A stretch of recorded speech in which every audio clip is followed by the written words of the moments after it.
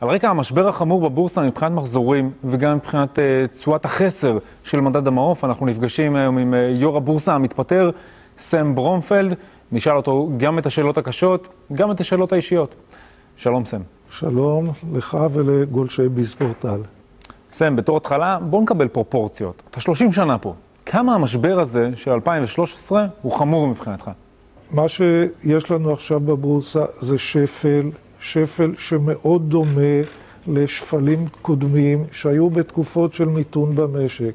מה לעשות, הבורסה היא לא דבר שחי בפני עצמו, הוא משקף את הכלכלה, הוא מבטא את מה שקורה, וכאשר במדינה כמו שלנו הצמיחה מואטת באופן משמעותי, הרווחיות של החברות נפגעת, יורדת, הרבה חברות, אה, לא עלינו, פושטות את הרגל, הסתבכויות בנדל"ן בכל העולם, כל הדברים האלה משתקפים בבורסה. וזה דבר שהיה בעבר, הוא עכשיו, ואני מבטיח לך שזה גם יהיה בעתיד. אז מה, אתה אומר שהדבר היחיד שהשתנה זה תרבות עריפת הראשים שיש לנו במדינת ישראל? אני חושב שמה ששונה בשפל הזה, זה שהוא לא מעשה ידינו להתפאר. בעוד שבשפלים קודמים, נגיד ב-2001, 2002, אתה זוכר תקופת האינתיפאדה השנייה, אה, ב-94-5, אה, משבר קרנות הנאמנות, השפלים היו עבודה עברית. והפעם זה לא מה שקרה, הכלכלה הישראלית הייתה בסדר, ב-2007-2008 התחיל משבר בכל העולם, ואנחנו חטפנו ממש על לא עוול בכפינו. אה, זאת סיטואציה חדשה, וכנראה שהעצבים לא כל כך אה, חזקים, ומתחילות אה, לעוף האשמות מפה לשם, חיפוש אשמים, כאשר הבעיה היא ידועה, ותיקה, ואף פעם לא לקחו את העניין הזה ביותר מדי רצינות. בסדר, כבר אנחנו נדבר על המצב הכלכלי ואיך הוא משפיע על הבורסה בתל אביב, אבל יש uh, גורמים פנימיים שמשפיעים על הבורסה מעבר למצב הכלכלי, ואלו הרגולטורים. והבורסה בתל אביב היא אחד הרגולטורים האלה. מה חלקה במשבר הזה שנוצר? אה, כמעט כלום. תראה, בשנת 2010 המחזור היומי בבורסה במניות היה 2.2 מיליארד שקל. שנתיים אחרי זה, זה ירד לחצי. מה קרה? האנשים לא השתנו, המכונות לא השתנו, המחשבים לא השתנו, להפך, הם השתכללו במהר... במהלך התקופה הזאת. מה שקרה, הבורסה, אחד העם 54, לא השתנה, לא השתנה.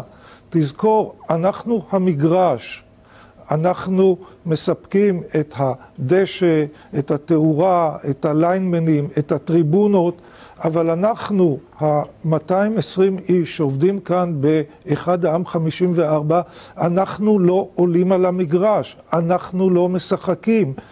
תשאל לאן נעלמו השחקנים, לאן נעלמו הקבוצות. סע לירושלים ותברר את זה.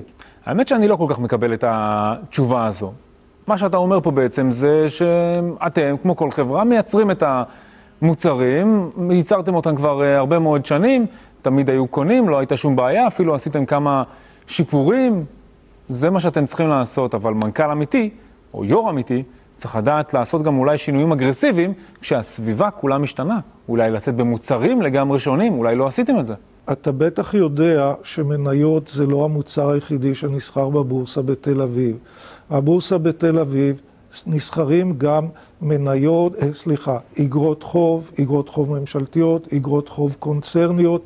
המסחר בהם גדל ב-50% תוך שלוש שנים.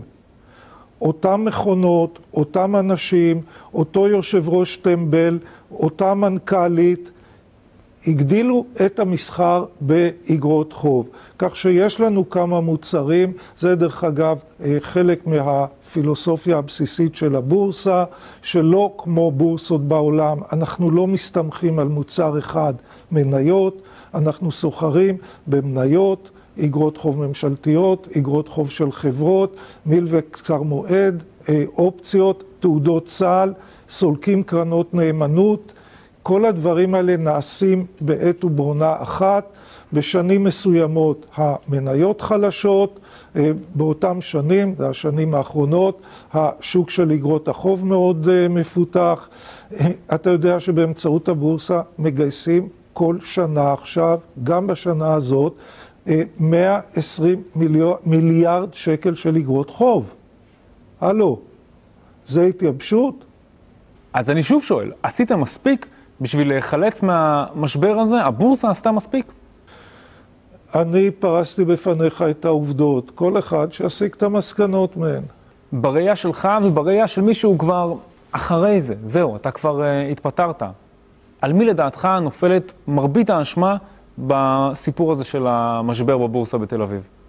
המשבר הכלכלי, כמו שאמרנו, הוא חיצוני.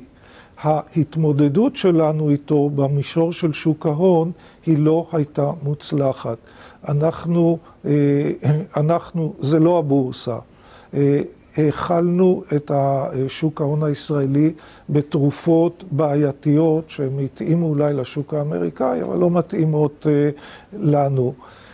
אה, אני חושב שרגולציה זה דבר יותר מדי רציני בשביל להשאיר אותו בידי הרגולטורים. יש ממשלה, יש שר אוצר, יש ועדת שרים לענייני כלכלה. לשמחתנו התקציב אושר, הממשלה יציבה.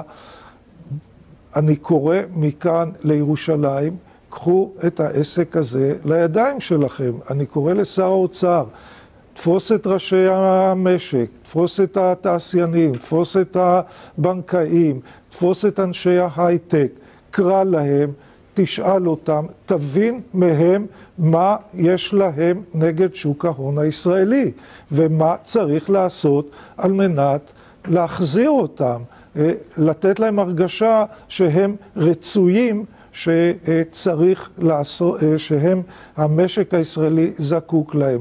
עם כל הכבוד, אם הבורסה תכניס אפשרות לתת אה, מכירות בשורט, זה לא הדבר שיפתור את הבעיה של המגזר העסקי. הזכרת את העניין הזה של המשבר הכלכלי במדינת ישראל, וכמה הוא משפיע על הבורסה בתל אביב. אם אנחנו נצטרך, אה, אתה יודע, פחות או יותר להגיד מי יותר משפיע, האם זה הרגולציה או האם זה המשבר הכלכלי, איך אתה רואה את הדברים?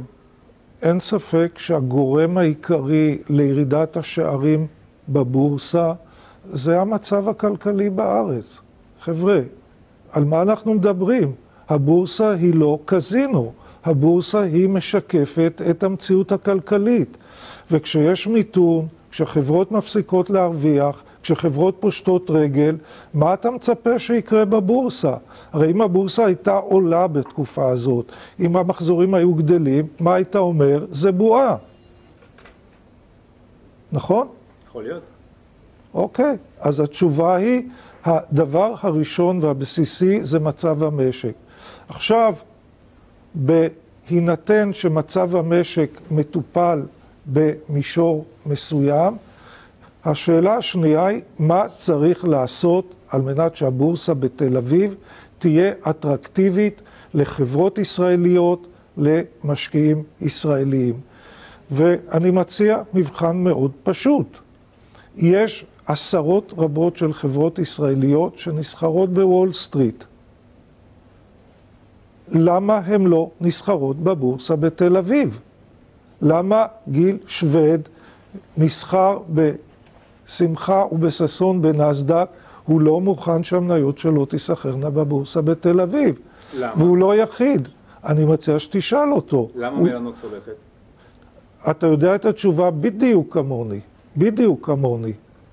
ולמה עידן עופר הולך, ולמה עכשיו מוחקים את אה, דיסקונט השקעות, גם את זה אתה יודע בדיוק כמוני. אני מציע שתציב את השאלה הזאת לא רק באחד העם 54, תציב אותה בקריית הממשלה בירושלים. אחת הנקודות היותר זכורות לכל סוחר, לכל משקיע בבורסה בתל אביב, זה המעבר של הבורסה מ-MSCI, שווקים מתעוררים, ל-MSCI, שווקים מפותחים. מהלך שגרר יציאה של המון זרים מהבורסה בתל אביב, ולא ראינו את הכסף הזה חוזר. האם אתה מסכים שזה אחד, אחד הגורמים המשמעותיים למשבר שיש לנו כאן, והאם אתה חושב שיכול להיות שאותם זרים גם היו יוצאים מאלף ואחת סיבות אחרות מהבורסה בתל אביב, בלי קשר לשינוי שעשתה ה-MSCI. אני חושש שאתה טועה. גם היום 20% מהמחזור הוא מתבצע על ידי, על ידי זרים. הבעיה היא אה, בעיה של ציפיות. יש, אה, יש אנשים שחושבים שהתפקיד של הזרים זה לחלץ את המשק הישראלי משפל בבורסה. כלומר, הישראלים מוכרים את המניות, מורידים את השערים כי יש מיתון, והזרים יתנפלו על הסחורה ויעלו את מחירי המניות. יש תופעה שידועה בעולם שנקרא הבריחה לאיכות, a flight to quality. כאשר יש אה, אי שקט אה, בשווקים, המשקיעים נוטים לחזור ולהתרכז בשווקים החזקים, הטובים.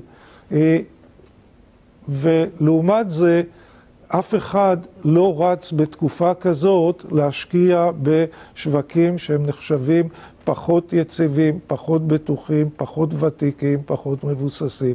זאת, ה, זאת התופעה, ואנחנו צריכים להבין שאנחנו לא יכולים לשנות את זה.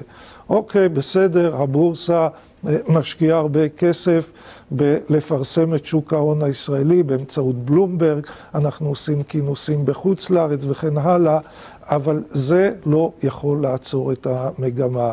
בתקופה כזאת של קושי כלכלי בכל העולם, אף משקיע, אה, אה, המשקיעים הגדולים בעולם לא ירוצו להשקיע בבורסה בתל אביב.